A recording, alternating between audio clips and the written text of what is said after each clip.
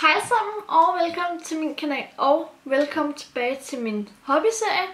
I dag der vil jeg snakke lidt omkring pindevenner og lidt omkring min brevpapir. Og øh, så må jeg meget gerne like videoen, hvis I godt kunne tænke at høre lidt mere omkring, hvad man skriver i brevene til ens pindevenner og hvad man eventu eventuelt kunne sende med. Men øh, jeg har en mappe her. Og så har jeg en mappe her. Og den her mappe, det er faktisk kun en mappe med dilleting, så jeg tænker, at den behøver jeg vel ikke at vise jer. Der er lidt dillpapir, og så er der poser. Og ja, jeg kan godt lide dille.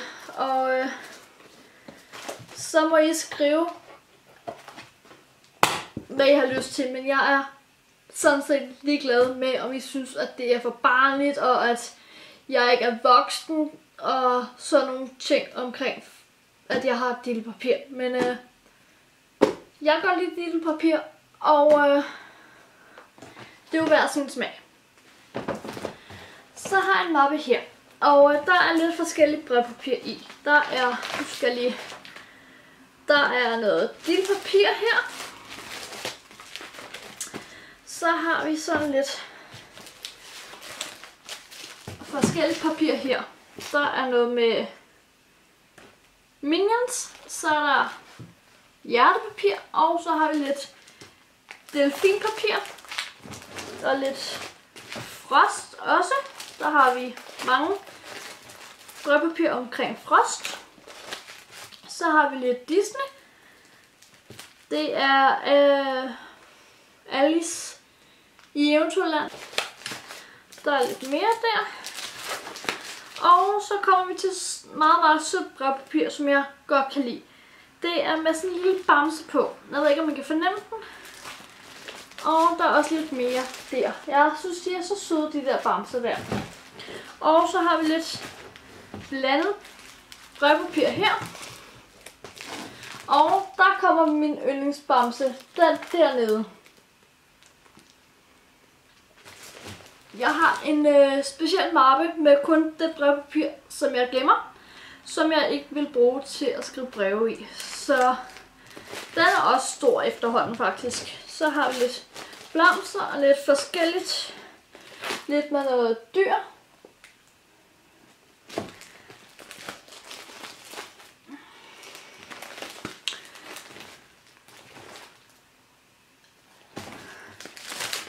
Og så har vi noget her, som har, ja, hvad kan man kalde det? Det er lidt julepapir, det er lidt påske, og det er lidt fødselspapir, eller brevpapir, som jeg kun bruger i nogle specielle tilfælde, hvis man kan sige sådan. Og så har vi på træerne, der har vi noget brevpapir, som jeg gerne vil sælge, fordi jeg synes, det er lidt svært at skrive på sådan noget papir, hvor der ikke er linjer på. Så jeg ved, at nogle af mine pindevenner, de godt vil købe noget brevpapir mig, så det er meget godt, at jeg har noget, jeg kan give dem. Så jeg kan hjælpe dem på en eller anden måde, så de har mulighed for at skrive breve med mig stadigvæk.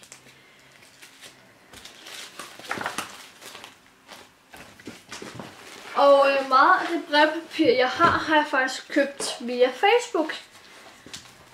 Så hvis nogen af jer samler på brevpapir, eller godt kunne tænke sig at have noget brevpapir, så vil jeg selvfølgelig skrive de forskellige nede i beskrivelsesboksen, fordi der er en, hvor man kan købe brevpapir, og så er der en, hvor du kan tage billedet, og så kan du printe dem ud. Men øh, jeg har ikke nogen printer, så det kan jeg desværre ikke. Ja, jeg kan låne, øh, hvad hedder det, bibliotekets printer, men så koster det bare 5 kroner at printe et ark ud, som er i farve.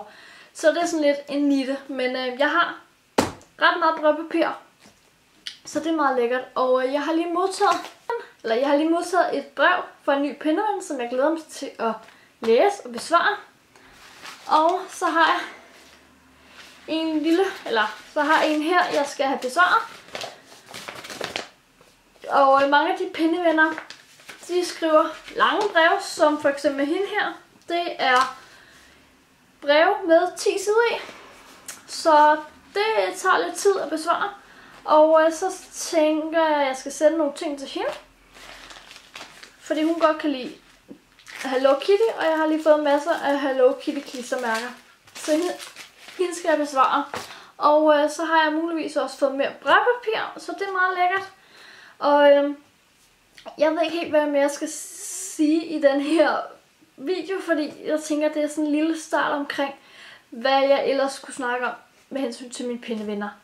Jeg har 11-12 pindevenner, tror jeg.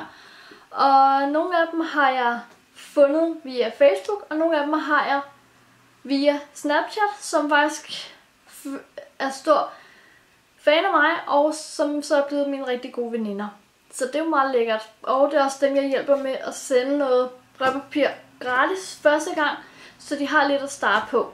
Og så har jeg sagt til dem, at de meget gerne må kontakte mig, hvis de har mulighed for at købe mere. Så det er jo meget lækkert, at man kan hjælpe hinanden på den her måde. Så øh, hvis I har nogle gode idéer til, hvad jeg ellers skal snakke om i de her pindevenner-serier, pindevenner-serier, så må jeg meget gerne skrive ned i kommentaren. Og så er der, vil jeg slutte videoen nu, fordi jeg har nogle breve, jeg lige skal besvare. Og et projekt her skal jeg have lavet med noget kort, så det bliver rigtig, rigtig hyggeligt det her.